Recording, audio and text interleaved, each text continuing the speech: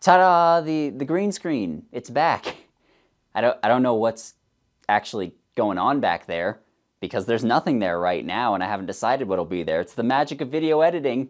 There's something though. Well, all right, here we go. So, TikTok really really loves creepy romances and adult women really really love mafia romances, most of which are also very creepy. Probably the most prominent one that has come out well, ever is 365 Days. Like, it was a series of books which got turned into a series of movies, and it is about a woman who is literally kidnapped by a mafia boss and then falls in love with him.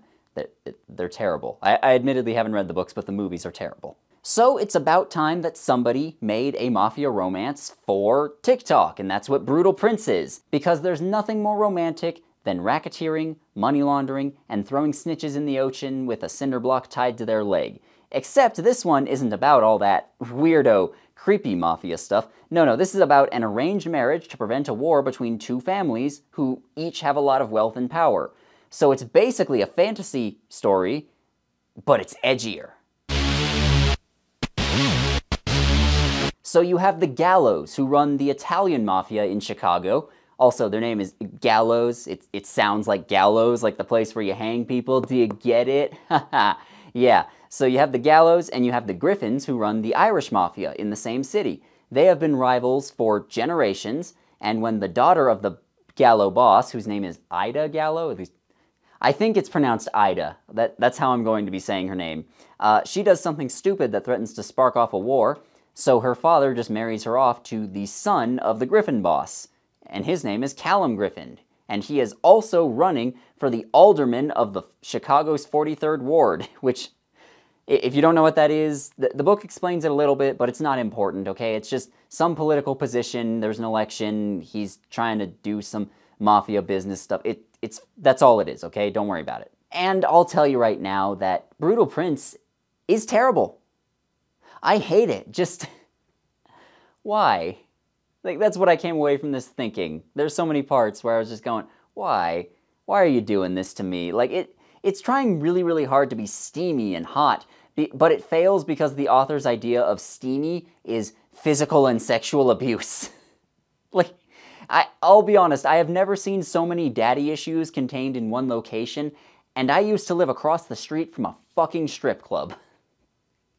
That's not a joke, by the way, that, that is true. I swear to every god, if romance authors went to therapy, the world would be 20% better than it currently is.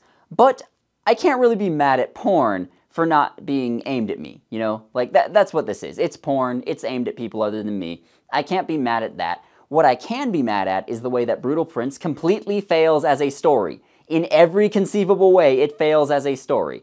Because if Brutal Prince and its fans are going to pretend it's a real book, then I'm going to treat it like it's a real book. Now, why have I done this? Because I'm trapped in a hell of my own creation. Let's get started. So, we start with a chapter from Ida Gallo's POV. In fact, the book goes back and forth a lot. Like, we get uh, Ida chapter and then Callum chapter, and just the whole book is like that. So, it's pretty evenly split between the two of them.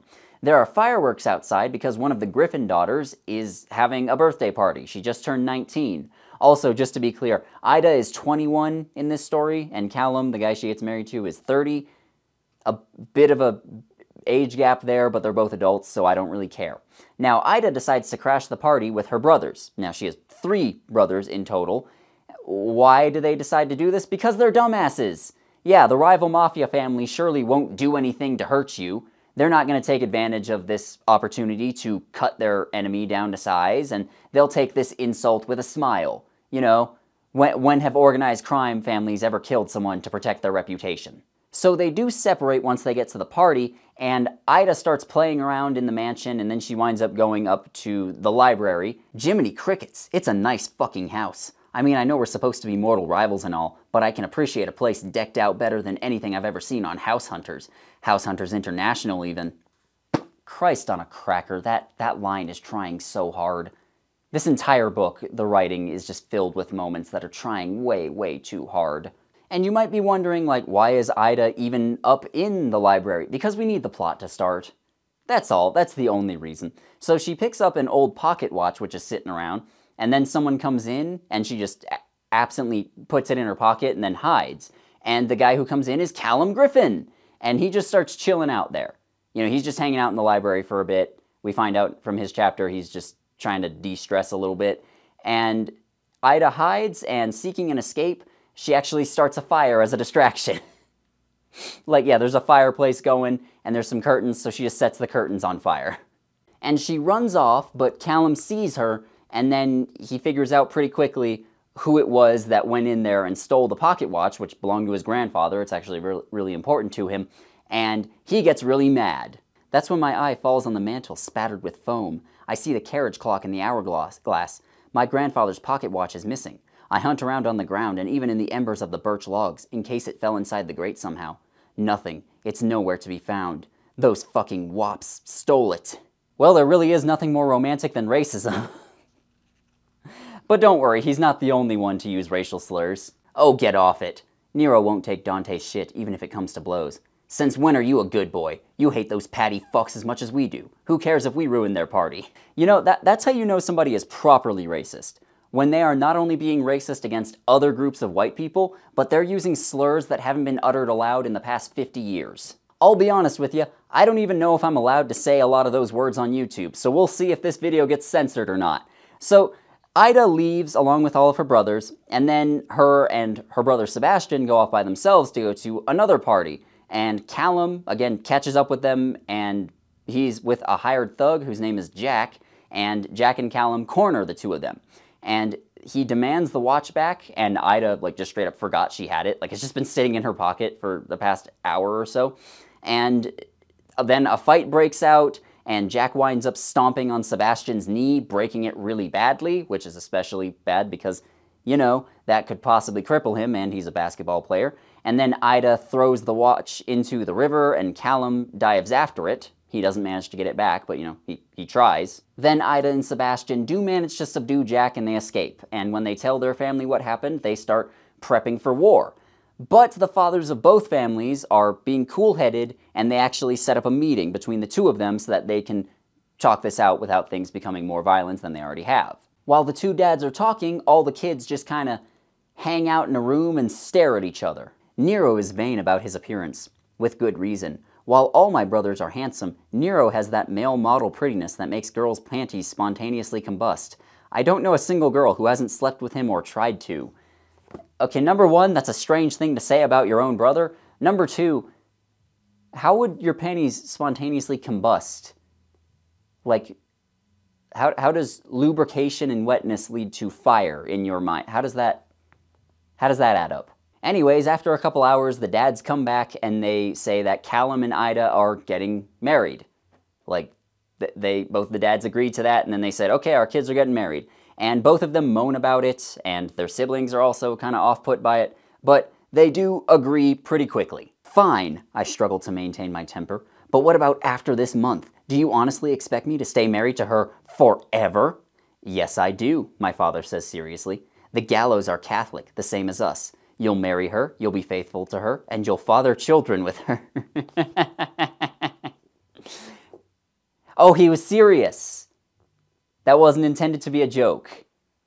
I, I'm sorry, but expecting a crime boss to not cheat on his wife is like expecting a priest to have sex with consenting adults. It's just not a thing that happens. Now, this setup might sound a little weird and cheesy, and that's because it is, but it is actually a real thing that mafia families do. Like, they really do marry off their children to each other to, you know, forge alliances and stuff. They're, they're basically like feudal lords, which you know, makes sense. Like, both feudal lords and mafia families are people who came to power via force and have a few loyal followers that keep the peons producing on their behalf so that they can live in luxury. They're, they're not that different when you think about it. So the Gallos, according to Callum's father, hold the key to the Italian vote, and the election is a guaranteed win for Callum if they work together. Plus, this avoids a war, and their business interests can benefit each other. But Ida and Callum just really hate each other and they're upset about this. But again, they just they just kind of go along with it. A few days later, there's an engagement party and they pretend that they've been dating in secret for 18 months and that's now why they're engaged. Like that's the story they tell the public. The wedding is also only two weeks away. Like they're to plan it and just get it out of the way as soon as possible. During the engagement party, Ida learns that Callum is allergic to strawberries. Hey look, the, the cover is relevant. sort of, for a, for a minute, you know, it's sort of. So the day before the wedding, they send Ida to a spa so that she can get all prettied up, you know, have her hair done, get her skin exfoliated, all that. And she's obviously not happy with it because she's the headstrong and willful protagonist, and she's not gonna take this kind of shit. Fuck you. Stop texting me right now. Stop. They want to pluck me and exfoliate me and rub off all my rough edges, make me some smooth, soft little wifey for the scion of their family, the great Callum Griffin. He's their JFK, I'm supposed to be their Jackie Kennedy. I'd rather be Lee Harvey Oswald. that, that was funny. There's, there's a couple funny lines in this book.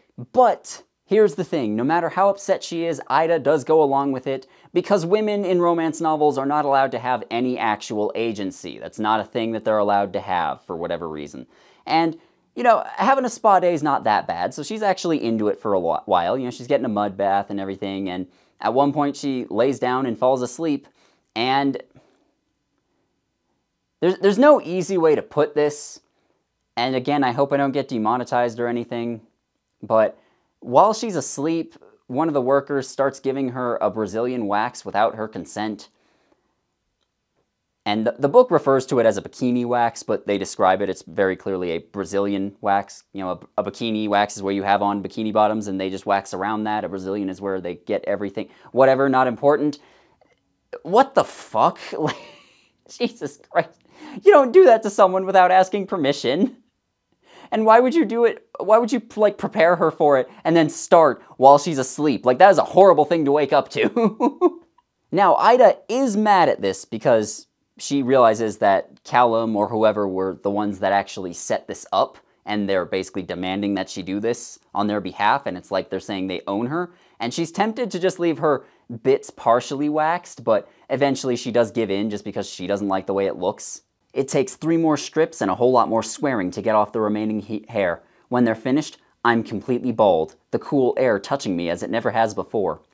It's fucking humiliating. It's whatever the feminine version of emasculating would be. I'm like Samson. Callum stole my hair and stripped me of my power. I'm going to get back at him for this. That conniving, perverted fuck. He thinks he can wax my pussy without consent? He doesn't know what he started. Oh my god. Now, fundamentally, that's what's wrong with Ida's character. Like, she has so much fire and passion in her thoughts but in the end, she always caves to what others tell her to do.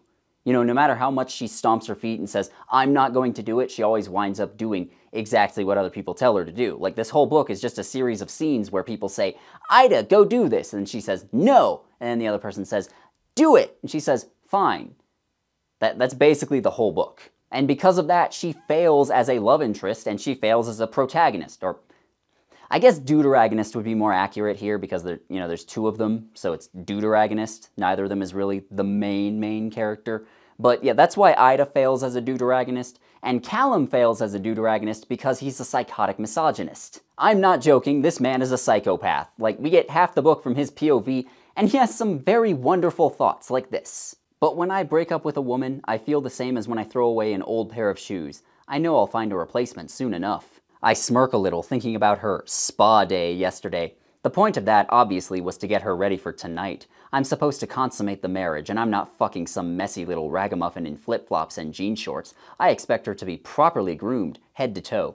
I love the idea of her being primped and cleaned and waxed to my specifications, like a little doll, built just the way I like it. I'd get Ida pregnant right this second, purely because of how furious it would make her. That would be one way to tame the beast. How how the fuck is this hot? Seriously, how is this hot? Like, does the average straight women really fantasize about men who act and think the way Callum Griffin does? Look, I understand the difference between fantasy and reality. I understand that a lot of people out there have weird sexual ideas that they understand would be unpleasant if it happened in reality, so it just, it stays up here, and they're cognizant of that. But if stuff like this, if stuff like this gets you off, I have to assume it's because your father didn't hug you as a child. So anyways, the two of them get married, and Ida eats a whole bunch of strawberries beforehand and purposely poisons Cal with it. And she, he's unnecessarily forceful about the kiss with, you know, when he when the priest says, you may now kiss the bride. Like he grabs her and like really goes to town on her when she doesn't want him to. So you don't have to feel that bad for him getting poisoned with something he's allergic to. Uh, but he's a lot more allergic than Ida realized, so he actually swells up and is unable, unable to breathe. His mother runs over and gets him with an EpiPen, and then he needs to go to the ER for the night. Again, I don't feel that bad for him. And he's only in this situation because he assaulted somebody and possibly crippled uh, Ida's brother, remember? And because he's been just an ass to his new wife this whole time, you know? And also, Ida thought that he would just wind up getting some hives on his face and look really bad in their wedding photos. She wasn't trying to kill him, but she also, again, she doesn't feel that bad about it. So then Ida has to move in with the Griffin family because, again, they're they're married and it's not like a green card marriage. They have to actually be married and make children and stuff. And when she arrives at their mansion, Cal's mother threatens her with death if she tries anything. Like, don't hurt my family, I'm a mama bear. But she's not un- she's not intimidating in the slightest. And Ida is also very unimpressed with her, so it's actually it's a slightly funny scene. However, that makes Ida seem more like she's a hostage. You know? It, doesn't seem like she's just there against her will. It makes it seem like she's there against her will and she's there to make sure that her family doesn't step out of line. You know? It feels like the Gallos have sworn fealty to the Griffins. So Callum is chilling by the pool, and after unpacking, Ida goes up to him and says hello. And once again, there's no easy way to put this, but Callum grabs her and drags her underwater and holds her under there for a bit to teach her a lesson. I pulled her under the water to give her a taste of her own medicine. See how she likes clawing and gasping for air, helpless against the necessity of breathing. It made me feel better, for a minute, but it also made me feel something else. Her body twisting and writhing against me. It wasn't supposed to be sexy. I'm not psycho, you're psycho! This man got turned on while physically assaulting his wife. There's nothing I can add to that to make it sound worse than it is. Girl, just run. Like Ida, j seriously, just pack up and run. Your family can try to hide you. just run. So anyways, after their synchronized waterboarding session, uh, he lets her go, and he compares her not being able to breathe to his allergic reaction, so like, not quite the same, but sure, whatever. And Ida goes to take a shower. You know, her clothes are all soaked and everything. And then Cal comes in while she's taking a shower and he acts really aggressive towards her, but they're both turned on and then they do the sex. Yeah, they, they in spite of hating each other 10 minutes ago, they just decide now's a good time to smash. I'm obviously not going to read the sex scene out loud, but the books make sure to emphasize how Cal is super muscular and works out constantly while Ida eats way too much and doesn't exercise that much and has curves, you know? That makes her super special and not like other girls, TM, because she has curves. She's not trying to look skinny like a runway model. She's, look, it's not the 90s, okay? Hourglass figures are neither rare nor disliked by society at large. Like, they are the standard of beauty nowadays. This is literally the equivalent of a man going, oh, I'm only six foot three and have a bunch of chiseled facial features. No woman would ever want me. Also, why the fuck are they having sex now? Like, do they seriously have so little self control that somebody who nearly killed them, and remember, they both nearly killed the other in the past 24 hours, but are they, they have so little self control that just seeing somebody naked means instant smashing? And, and for that matter, having Ida poison him and nearly kill him and then change her mind and think, you know what, maybe this guy is not so bad, so quickly makes her look like a psychopath as well. So neither of them looks great here. And I don't know, just for, we're like a third of the way through the book, and after this, they're just in love now. Yeah, they're, they're just, they're in love. They, I don't know why this is so common in romance novels, you know? Like, nothing but rancor between the leads, and then suddenly they're in love, like, just all at once I don't know why that's a thing, but it is. Because it's not satisfying as a story beat, and it's also just not realistic. That's not how people act. I feel like either no one in romance novels acts like a regular human being, or they're just not acting the way I would, and I have much more self-respect than the average person. I don't know if that's the case, because I personally would not want to bone somebody who stole my grandpa's watch, or knowingly sent me to the ER, or who attacked my brother and broke his knee. And so neither of them should want the other, but just they do now. And After that, everything is great and they get along fine. Cal has a sister named Nessa who is super nice and gives all her money to homeless people every day. Like, literally, all her money that she has on her, she gives to homeless people every day, and Ida loves her. Which is exactly how I imagine somebody raised in a family of murderous psychopaths would act. Now, Nessa doesn't actually do anything, this doesn't lead to anything. This detail is just there to let Ida know that she no longer needs to worry and her new life will be amazing. And not long after this, uh, Cal demands that Ida comes to a special dinner with him. It's like a big party thing, whatever. And she needs to wear a specific dress. And she refuses, but he steals all her other clothes, so it's either wear the dress or go nude. And she does relent, obviously. And I, I just, I don't know. There's no way to put this other than to say that a lot of women really seem to like fantasizing about being completely subservient to an abusive man. And I don't know what that says about society. So they go to the dinner, and there's a bunch of other important people there. And while they're there, they see a man named Zayak. I think that's how that's pronounced. Like, he's the head of the Polish mafia in Chicago. And look, I don't speak Polish. Polish is an insult to the very concept of spoken language. I'm just going to be calling him Zayak. I hope you're okay with that. Now, Zayak is a bad murderer who kills people for money and revenge, unlike Callum, who is a good murderer who kills people for money and revenge. Because we never get any specifics, but Cal does say that he has only killed people when it's necessary. And I'll be real with you, I want to know what his definition of necessary is, because it's probably different from mine. Now, Zayak is known as the Butcher of Bogota, like that's his nickname, Butcher of Bogota, because his brother used to be the head of the Polish Mafia in Chicago before a bunch of Colombians killed him, and then Zayak came and killed a bunch of them in Chicago and in Colombia in return. And he actually like cut them apart with like meat cleavers and stuff. And I'll be honest, Zayak getting revenge for his brother, even if like he's not a good person, just that backstory makes him way more sympathetic than any of the other characters in this book. In his narration, Cal says that there is a hierarchy of organized crime. On top, there are the Irish, who aren't even actually crime bosses anymore. They just run businesses and they also make shady deals in a legal gray area. But again, Cal makes vague references to sometimes killing people, so he's still a dark, edgy criminal. See, this way, we don't need to actually reconcile Cal's horrible actions with how sexy he is if we never actually explain his horrible actions. Isn't that convenient? Now, below the Irish are the Italians, who have some legitimate businesses, mostly construction, but they also do plenty of other illegal operations as well. Smuggling, drugs, prostitution, and they control the labor unions, so if you don't go through them, then your construction like projects aren't going to work. You're like you're going to wind up with stolen supplies and stuff. You know, like an actual fucking mafia. And then the lowest tier are the Polish mafia, who still do traditional crime stuff like racketeering, illegal gambling, loan sharking, drugs, and bank robberies.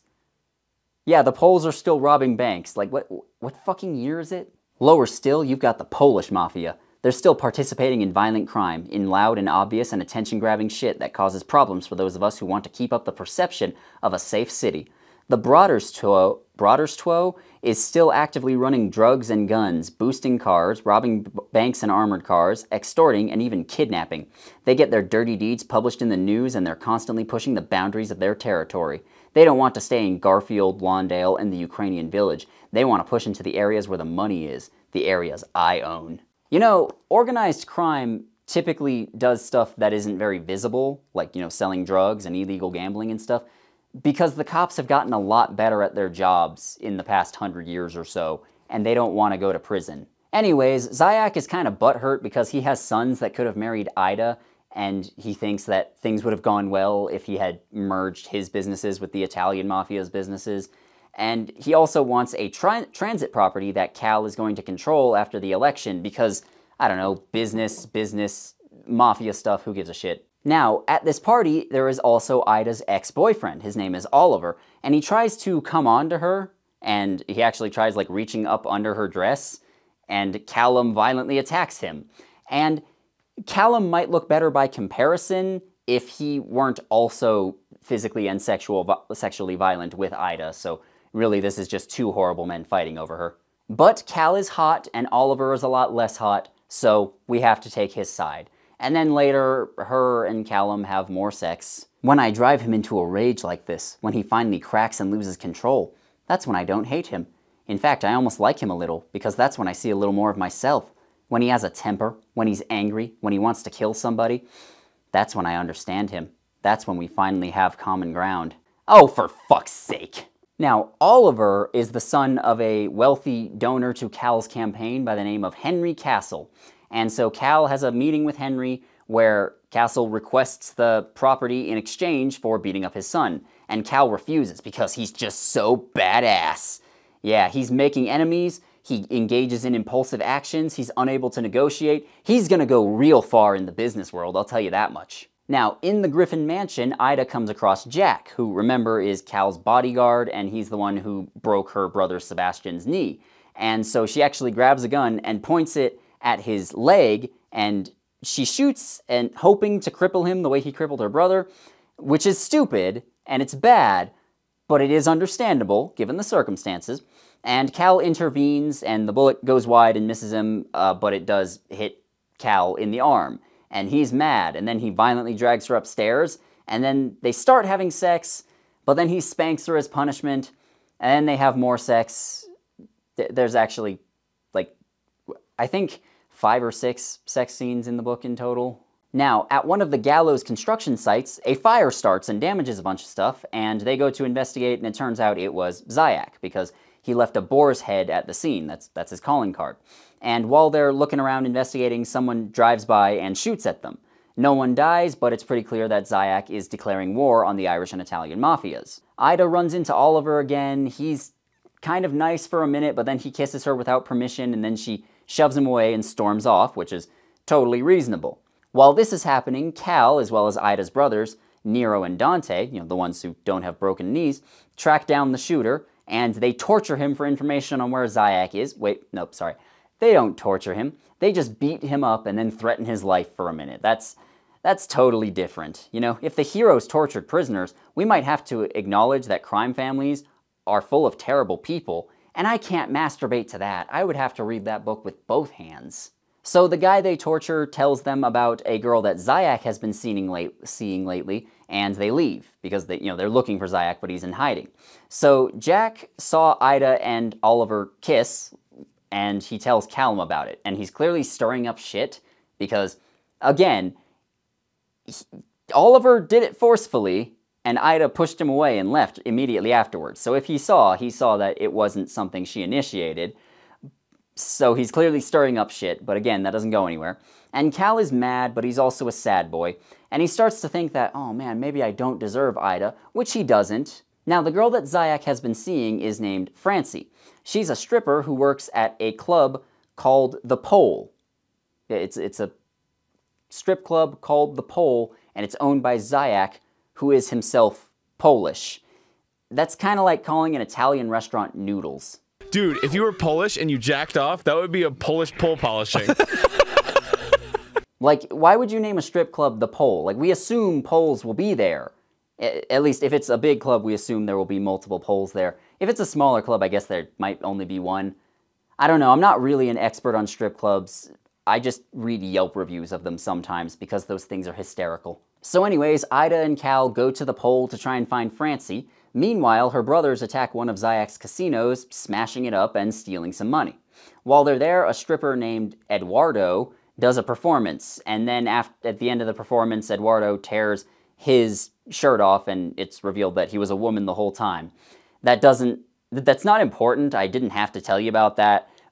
I just felt the need to share. Now, they find out where Francie lives, but Cal winds up getting drugged by a waitress, and while they're trying to leave, they are captured by some men, and Ida pretends to be drugged too. She didn't drink anything, and, but she also knows that, like, okay, I can't run, I can't fight my way out of this, so I may as well just go along with it.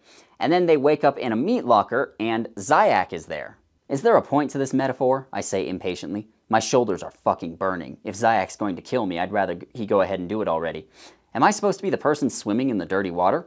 No! He snaps eyes on my face now. That's everyone in Chicago who wants to think their city is clean. You're the person who eats the bacon thinking you're better than the man who butchered it. And here's the thing Zayak is evil, but he's not wrong. Cal is a murderer. The book just doesn't focus on that, except when it wants to be edgy. So Zayak threatens to cut out Cal's appendix. He wants the transit property from earlier. He also wants the money that Ida's brothers stole from his casino, and he wants a government position after the election. Some men attack, and so Zayak and the others leave Callum alone, tied up, and then Ida hops in and she frees him, and they escape in the chaos. You know, they open a grate and they jump in and they land in the river down below. And it turns out that nobody attacked. See, uh, again, Ida didn't drink the drugged drink. She only pretended to pass out, so the guards didn't bother tying her up and they left her unattended. So she was able to make some Molotov cocktails and threw them around so it looked like there was a big attack. And then the two of them kiss and say they'll never abandon each other. And two days later, Cal wins the election. He is now the alderman, and Zayak is still in hiding, because which makes sense, you know, he's He's at war with two separate families. Now, Ida goes out to take care of some errands, and Cal is convinced that she's seeing her ex-boyfriend. He has Jack follow her to see what's going on. He mopes about how she doesn't love him. But then Ida gets kidnapped, and Cal tells her brothers about it, and they think that Zayak is the one that took her, because, you know, that actually makes sense given the circumstances. But Cal, see, he's smarter than the average bear. He thinks that her ex-boyfriend Oliver is the one that took her because she lost a shoe when getting kidnapped, and earlier she made a shoe metaphor, so clearly it was Oliver. Yeah, and anyways, they split up to look, and Cal is the one that's correct. You see, Oliver took Ida to an old beach house that they used to go to, and while they're there, he tries to convince her that she loves him and she's just going crazy or something. I don't know. And Ida just says, No, I don't love you. And so he ties her up and says she'll never belong to anyone else. And then Cal arrives not long after, and he sees the whole house is on fire. Like, Oliver's just doing a murder-suicide routine, I guess, which is kind of out of nowhere, but okay. So Cal runs in, he fights Oliver for a bit, the floor collapses, and Oliver falls down below into the flames and dies, presumably, and then Ida grabs Cal before he manages, before he falls, you know, so they save each other's lives and then they run off. And then later they're calling the others on the phone, and it turns out Dante and Nero, off screen, killed Zayak. Rest in peace, Zayak. Your only crime was being the sole character in this book to act like an actual fucking mafia boss, which, granted, acting like a mafia boss requires you to do a lot of other crimes along the way. You know what? This joke doesn't work. Cut it out. But now, life is perfect. You know, the two leads say their wedding vows to each other in private, like for real this time. Ida gives Cal back his grandfather's watch. Turns out she actually hired somebody to go down into the river and retrieve it. And he opines for a minute about the luck of the Irish and how her starting a fire was the best thing that ever happened to him. And then it ends. And then there is a brief bonus epilogue, which I guess wasn't part of the original story, but then the author added it later. Uh, and it's, again, kind of pointless. They have a little bit more sex. There's a birthday party celebration, and then Ida tells Callum that she is pregnant, which is not at all surprising when you look at how much unprotected sex they were having. And just in case you were wondering, no, Callum was not pulling out. And somehow after this there are five more books. I don't I don't know how or why. Like I don't know why every successful romance novel has a bunch of unneeded sequels where the only thing that happens is that the leads fight and then they have makeup sex. Like seriously, that that is the entirety of 50 Shades of Grey, After and 365 Days. Like all of those series did the exact same thing. Like the first book is mostly a contained story, and then just sequels where all they do is fight and have sex. So yeah, I didn't like Brutal Prince very much. It's not a good book. There are four actual characters in here, and the rest exist solely as background decorations. Those four characters are Cal, Ida, Oliver, and Zayak. Like, they're actual characters. They do have personalities. They're just not very likable. Because Cal is a psychotic misogynist, but it's okay because he's hot.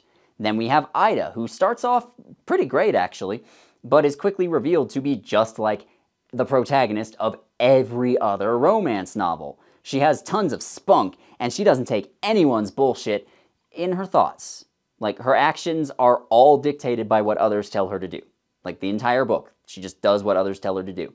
She could easily be a great character who resists her position for a while before realizing that, hey, maybe this Cal guy isn't all that bad, and maybe I do love him, which, granted, that would require Cal to actually not be that bad, but I digress. You know, you, you could do that with her. You could still have the romance, the mafia war, the enemies to lovers stuff, and you would have an engaging main character.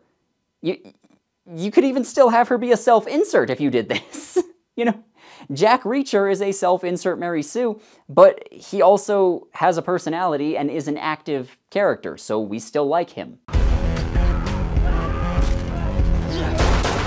Are you sure how comfortable spinning a counterfeit role?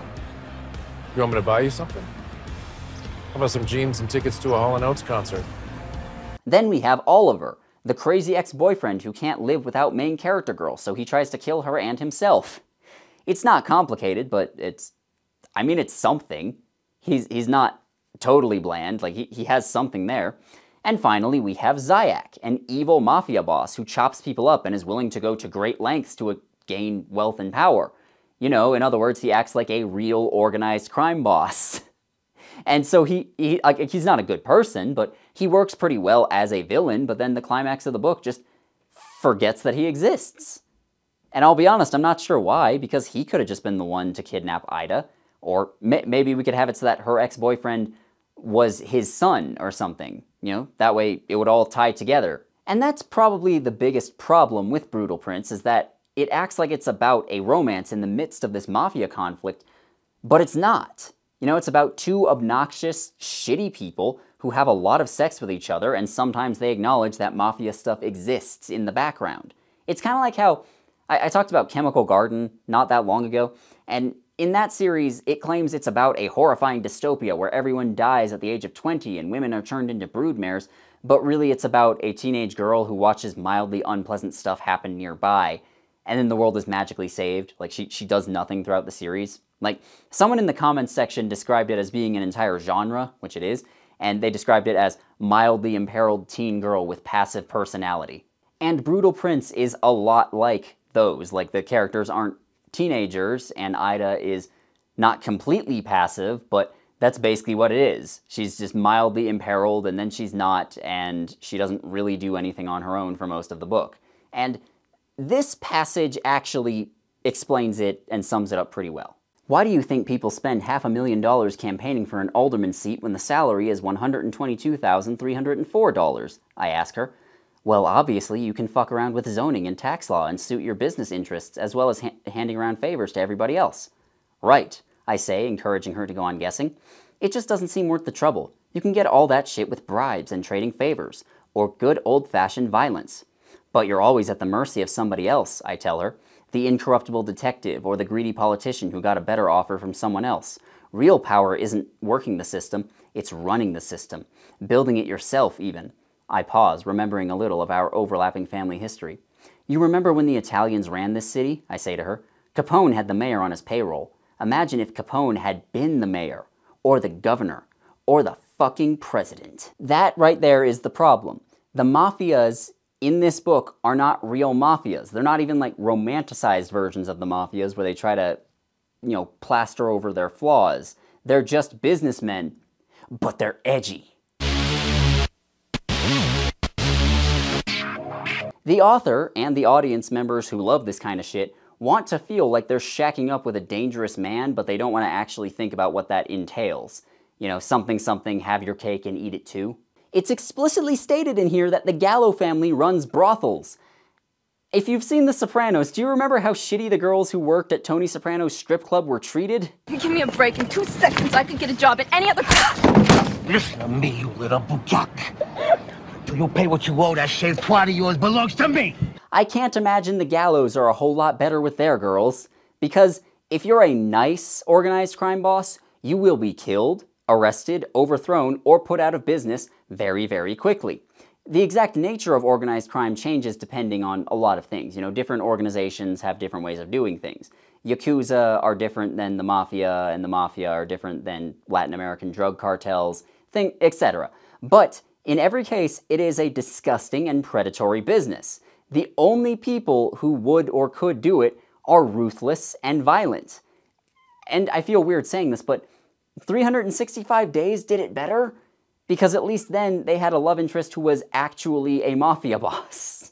Because unless you actually draw attention to Cal's murders and his other crimes, you, he's really just playing dress up. He, he's playing dress up. He's cosplaying as a mafia boss. And the more I think about it, the more I realize like that's the genius of The Sopranos, you know? It shows exactly how awful these sorts of people are, but it, it does make us sympathize with them a little bit, but it shows how awful they are, and it also shows how sad and pathetic they are. You know, they fight and kill each other over scraps. They're always demanding respect, but they never show it to others, not even their friends or family. They beat and abuse their wives and girlfriends. They constantly cheat on their wives and girlfriends.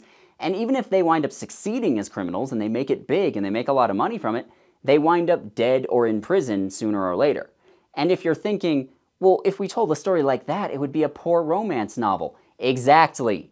Mafia romance is a genre that's dead on arrival. Trying to romanticize that sort of lifestyle and these sorts of organizations isn't just annoying, it's gross. And I'd be less concerned if it were adult women that were into this because they're generally better at distinguishing fantasy from reality. But be honest, it's mostly teenagers that are into this kind of crap. You know, look, if you're going to write a romance novel, write a romance novel. You know, don't write a romance novel and then give it the plot of a thriller and then cast the thriller plot aside when it becomes inconvenient. Or maybe you should do that. I don't know. I, I can't stop you, and it certainly pays well. But I keep seeing people say that I dismiss romance as a genre out of hand, and I don't. Now, I don't respect the romance genre very much, but that's because it never tries. Like, the, the people who dominate it, who write the books that sell a whole lot, they never try at all. And the genre's proponents are embarrassed for even reading it. That's why they keep writing mafia romance and fantasy romance, but there's very little mafia in the mafia romance and there's very little fantasy in the fantasy romance. They just they want to pretend it's something that it's not so that they don't have to feel ashamed for reading porn. Like a lot of the stuff I read is weird and silly, but at least I'm honest about it. Now, is Brutal Prince the worst thing ever? Like no, not not at all, not at all. It's stupid, dull, and annoying, but it's really not that bad other than the moments where we're in Cal's head and we see just how psychotic he is. And there are a couple of things I liked. You know, at first I did like Ida, like she becomes terrible later, but I did like her at the beginning of the book. Uh, I liked Zayak as a villain. There are illustrations in here, which I'm not super into the art style, but it, it's kind of neat to have that. The sex scenes aren't my cup of tea, but if that's what you're looking for, they are competently written. And the book is short, you know, even with the bonus epilogue and the preview of the next book and all the illustrations, it's less than 300 pages, even with all that, so it went by pretty quick. And it's a completed story. There's no need to read the sequels if you don't want to. It's not offensive or particularly stupid, it's just boring and it's nonsensical. If the people who were into this sort of stuff just admitted that it was porn, then I would probably just ignore it and move on with my life and talk about other stuff that I was more interested in, but they refuse to admit that. And they keep a- pretending that books like Brutal Prince are totally real stories. It's not porn, it just has spice in it. And look, if you're going to pretend that these are regular books, then I'm going to treat them like regular books, and I'm going to critique them like they're regular books. And Brutal Prince just fails. Like, as a book, it fails in a lot of ways. It fails as a story, it fails with its characters.